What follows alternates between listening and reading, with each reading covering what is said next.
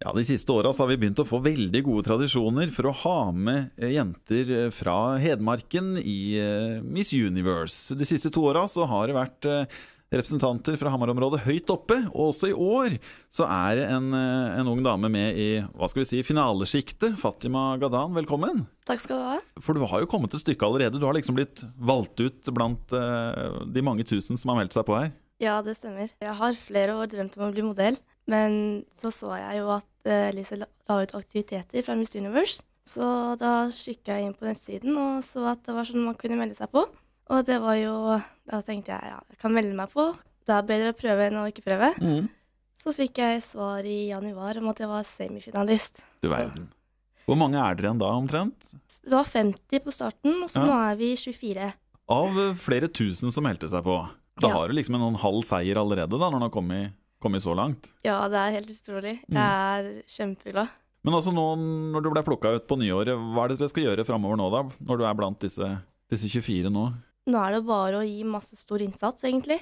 Og det gir poeng på oss hvor stor innsats vi tar, og aktiviteter som vi gjør. Akkurat. Mm. Så man kan ikke sitte i sofaen og forvente å komme videre, man må Nei. stå på litt? Nei, absolutt ikke. Eh, det dreier seg altså ikke om bare utseendet.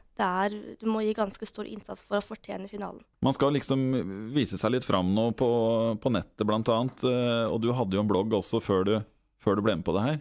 Ja, jeg blogga en del om mine interesser. Og jeg pleide også å lage sånn eh, videoblogger som sminkevideo og hårvideo. Jeg var på vei til å lage det. Men så fant jeg ut at jeg var med i Miss Universe, og da tok jeg det litt jeg la det ned da. Blogger eh, en del nå på Miss Universe-siden. Men altså, kan, kan, man stemme på deg allerede, eller er det, hvordan foregår det framover nå? Eh, stemminga kommer nok hvis jeg kommer i finalen. Ja. Så eh, da håper jeg bare på det beste. Cirka ti stykker, da, eller til slutt? Det blir rundt 14 til 15. Mm. Det har veldig mye å si på hvor stor innsats vi alle som er med, gir. Og hvor mange poeng vi klarer å samle, da. Akkurat nå så er jeg veldig her i Hamar. Jeg har jo et, en jobb ved siden av, så jeg må prøve å kompensere litt alt. Mm. Eh, prøver å skaffe meg eh, sponsor og drive med, prøve å gjøre meg litt kjent. Du lærer jo veldig mye også innenfor markedsføring, så det er jo veldig positivt at vi viser at vi klarer å gjøre noe bra også. Er det så gøy å jobbe som modell som du trodde på forhånd, eller? Ja, men det er litt mer jobbing enn det jeg trodde. Det er ikke bare å stå foran kamera, det er en del eh, jobbing ellers òg? Ja, det er uh, veldig mye jobbing. Men uh, det er absolutt verdt det til slutt. Da får du bare stå på framover, så skal vi heie på deg så godt vi kan. Og så ja. håper vi at du kommer helt til finalen når sommeren nærmer seg. Ja, tusen takk.